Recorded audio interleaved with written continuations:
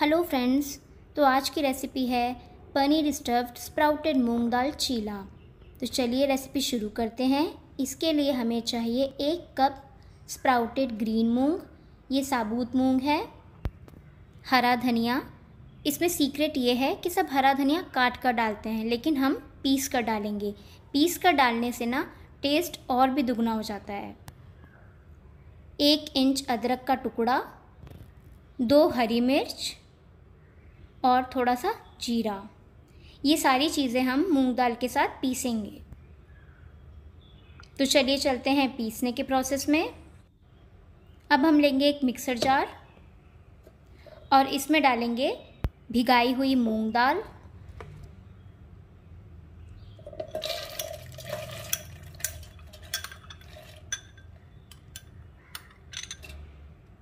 अब हम इसमें ऐड करेंगे बाकी के इंग्रेडिएंट्स जीरा ऐड कर देंगे। अब इसके बाद हम हरी मिर्च का ऐड करेंगे।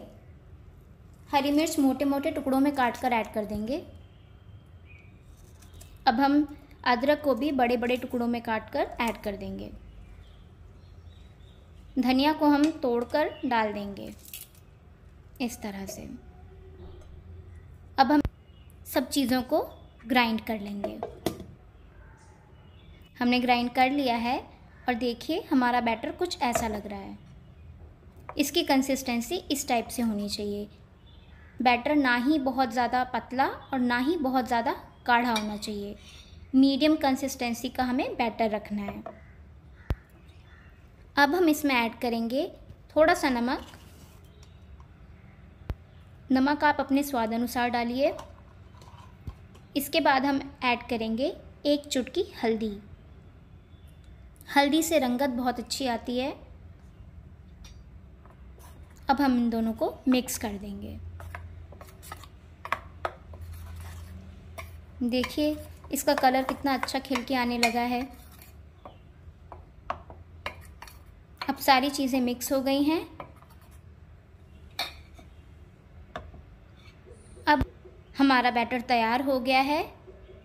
अब हम बना लेते हैं चीले के लिए फिलिंग फिलिंग बनाने के लिए हमें चाहिए थोड़ा सा पनीर। पनीर मैंने ये घर में दूध फाड़ कर बनाए हैं। पनीर को इस तरह से क्रम्बल कर लेंगे। अब पनीर में हम ऐड करेंगे एक टेबल स्पून धनिया। बारीक कटा हुआ। अब हम इसमें ऐड करेंगे थोड़ा सा नमक। नमक हमने अपने बैटर में भी डाला है तो थोड़ा सा ध्यान से डालेंगे। इसके बाद हम ऐड करेंगे थोड़ी सी देगी मिर्च। ये मिर्च तीखी नहीं होती और कलर अच्छा देती है। अब हम इन सारी चीज़ों को अच्छे से मिक्स कर लेंगे। इस तरह से आराम आराम से चलाकर मिक्स करेंगे। देखिए, अब हमारी फिलिंग भी बनकर तैयार हो गई है। तो अब चलिए चलते हैं चीला बनाने के प्रोसेस में। अब हम एक नॉनस्टिक पैन को तवे पर रखेंगे। पैन गरम हो चुका है, चेक कर लेंगे।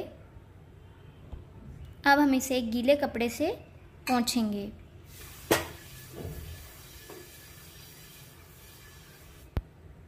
अब हम इसमें अपना बैटर डालेंगे। देखिए, हमने इसमें दो चम्मच बैटर डाल दिया है। अब हम इसको ऐसे घुमा घुमा के फैलाएँगे।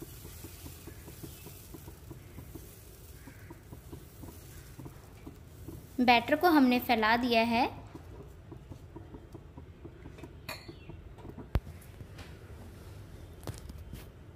फ्लेम को हम लो मीडियम पर रखेंगे। अब हम इसमें एक चम्मच घी फैला देंगे। घी हमें चारों तरफ़ ऐसे फैलाना है, क्योंकि हम इसे थोड़े ही घी में बना रहे हैं तो इस तरीके से हम पैन को उठा के घुमा देंगे। ताकि घी सारे तरफ़ पहुँच जाए। देखिए, घी ड्रिज़ल करने लग गया है। अब हम इसे कवर करके दो मिनट के लिए पकाएँगे।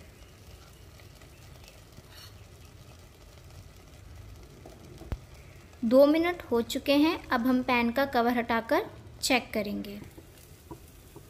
देखिए, हमारा चीला नीचे से पक चुका है। अब हम इसे दूसरे साइड फ्लिप कर देंगे। ऐसे। अब हम इसे फिर से कवर करके 30 सेकंड के लिए बस पकाएँगे।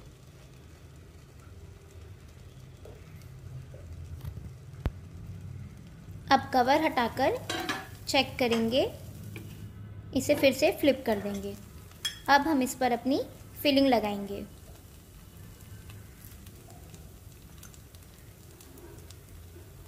चीला हमारा पक चुका है। तो अब बस फिलिंग लगाकर हम चीले को फोल्ड कर देंगे। इस तरह से सावधानी से फोल्ड करेंगे।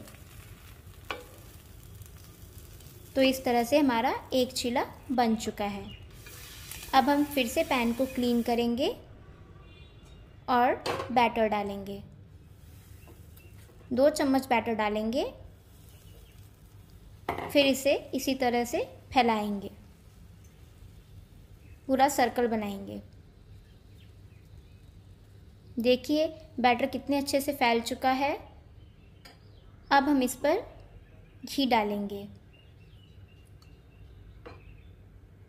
इस तरह से चारों तरफ़ घी डाल देंगे। फिर से पैन को घुमाकर घी हम चारों तरफ़ फैला देंगे।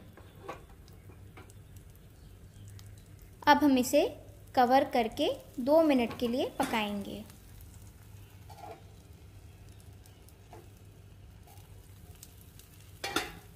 चीला हमारा पक चुका है। अब हम इसे फ्लिप कर देंगे। और 30 सेकंड के लिए फिर से कवर कर देंगे। अब 30 सेकंड के बाद हम इसे चेक करेंगे। इस तरह से इसको वापस फ्लिप कर देंगे और अब हम इस पर अपनी फिलिंग लगाएँगे। बची हुई फिलिंग हम इस पर लगा देंगे।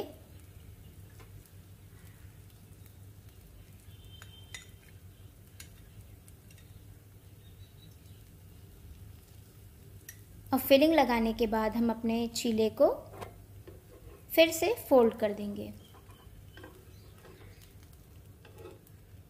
तो इसी के साथ हमारा दूसरा चीला भी तैयार हो गया है।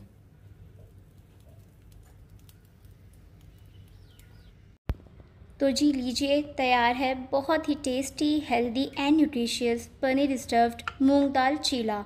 खाने में तो टेस्टी है ही, साथ ही साथ बहुत ही हेल्दी है, क्योंकि ये प्रोटीन से पैक है। अगर आपको मेरी ये रेसिपी पसंद आती है तो please like share and subscribe to my channel thank you for watching